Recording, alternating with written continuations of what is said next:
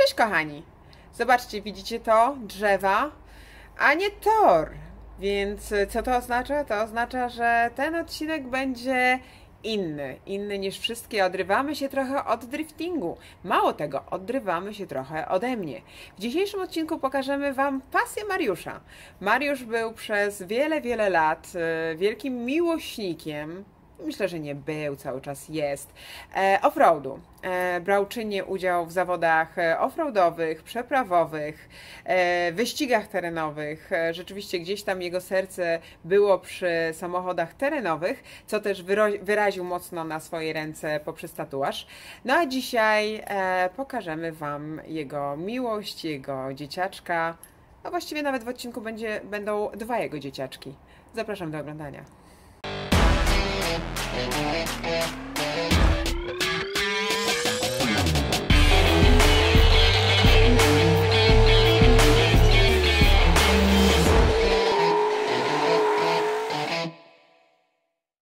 Witam wszystkich, tym razem ja, nie Karolina.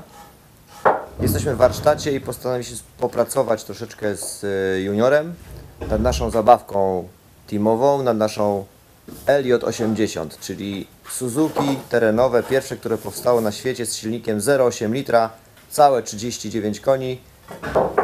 Coś się dzieje z sprzęgłem, ma 40 lat, więc czas na zmianę. Junior już działa, Cześć. Już przygotowuję miejsce pracy. E, sprzęgło już mamy, pokażę Wam je później. E, serce potwora, 40 niecałe koni mechanicznych, samochód 40-letni, prosta konstrukcja, czterocylindrowa, e, z bardzo fajnym rozwiązaniem, jeśli chodzi o za- zasilanie w paliwo, gdyż tutaj został zastosowany gaźnik przez Japończyków, który był stosowany też w piłach motorowych, które służyły do wycinania drzew gdzieś wysoko w górach. A dlaczego ten gaźnik? Dlatego, że może pracować w różnych płaszczyznach, więc praktycznie nawet do góry nogami silnik może pracować i zawsze będzie zasilany w paliwo. Zwykły układ iskrowy, cztery cylindry, chłodzony cieczą. Samochód ma 40 lat, ale w pełni sprawny. Zobaczcie, hamulce jeszcze nie wspomagane. Przekładnia bez wspomagania. E, wszystko proste, ale fajnie działające. Zobaczcie, jaka prosta deska rozdzielcza. Wszystkie podstawowe funkcje. Żadnej elektroniki. Nasz minionek, bo samochód ma też ksywkę minionek. Nawiewy nieelektroniczne. Wszystko działa wybierak skrzyni biegów i oczywiście reduktor, który bardzo mocno zwalnia nam przełożenia. Do tego dołącza nam przedni napęd, blokada mechanizmu tylnej osi różnicowego, a to już koła, które będą niedługo na nim.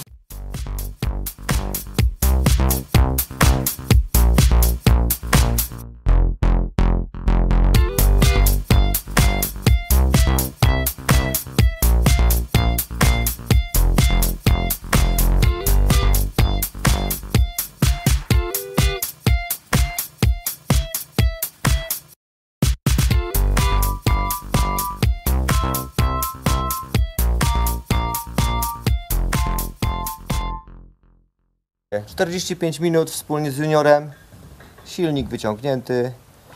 Chcieliśmy tylko skrzynię, ale stwierdziliśmy, że już mamy tą możliwość, to zobaczymy co tam się dzieje w środku. Zobaczcie silniczek na wierzchu. Tu malutka skrzynia, którą zaraz odkręcimy. Wszystko japońskie. Da, w środku wygląda tak. Jak junior się pracowało? No było ciężko, ale daliśmy radę, więc teraz rozkręcamy, zmieniamy to sprzęgło na nowe. No i co, jedziemy do A domu. masz sprzęgło? Mam już niosę. O, kto nam to przysłał? Firma Exedi. I więc tak, mamy tutaj tarczę do sprzęgła. Tak się ona prezentuje. Mamy jeszcze, mamy również docisk do sprzęgła. Nowiutki. Co, walczymy dalej?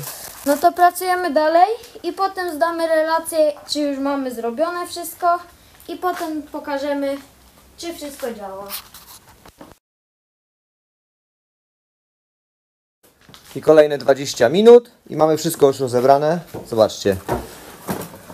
Odkręcone już stare sprzęgło. To jest koło zamachowe. Tu właśnie mamy stare sprzęgło. Zaraz będziemy montować nowe. Nowe sprzęgiełko.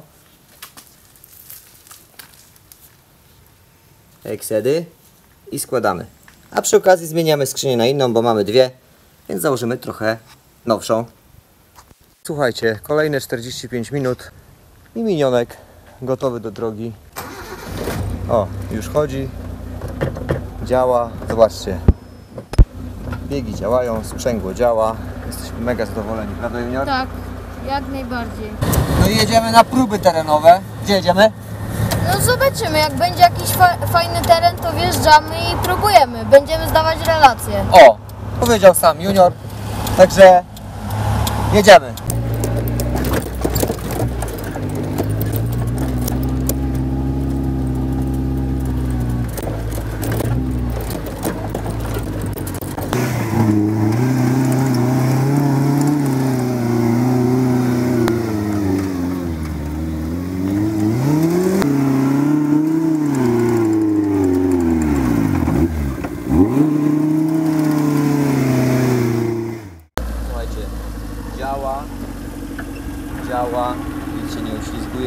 Praca pełen sukces.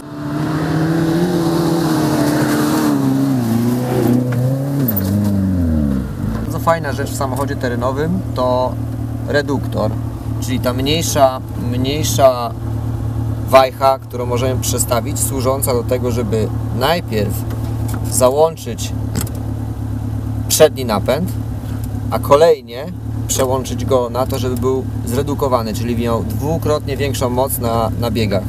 Pokażę Wam jak to działa w praktyce. Na pierwszym biegu, że uda nam się przejechać, zaraz zobaczymy. O, właśnie się zakopujemy. O, właśnie zakopaliśmy się, e, co zaraz mały pokaż, pokażemy na wideo. Z tamtej strony chodź, proszę. Zobaczcie, nie działa w ogóle napęd, napęd na przednie koła. Nie ma siły. Powoli, powoli, powoli, powoli. Natomiast zobaczcie teraz co zrobię. Przesunę magiczną przesuwkę do tyłu. Po to, żeby nie popsuć sprzęgła, włączę jeszcze reduktor. I zobaczcie co się stanie teraz włączając pierwszy bieg. Auto ruszyło jak na asfalcie. Nie ma dla niego żadnego problemu. Zobaczcie. Jeszcze raz, wyłączę napęd. Nie ma napędu żadnego. Zobaczcie, tylne koło zacznie się kopać. I nie jedzie. Znów zapinamy przedni napęd, zapinamy reduktor, włączamy pierwszy bieg i pod wielką górkę z piasku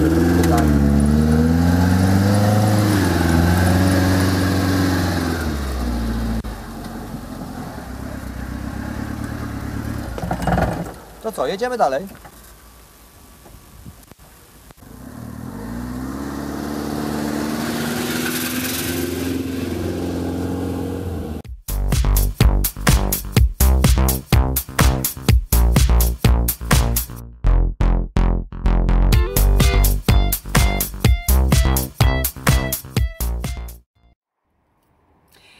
Jeżeli podobał Wam się ten odcinek i e, chcecie zobaczyć trochę więcej z innych dyscyplin motosportowych, nie tylko z driftingu, e, nie tylko budowanie aut driftingowych, ale też właśnie offroadowe, e, wyścigowe, rajdowe, rallycross, słuchajcie, jeżeli będziecie tym zainteresowani, z przyjemnością postaram się Wam to dostarczyć.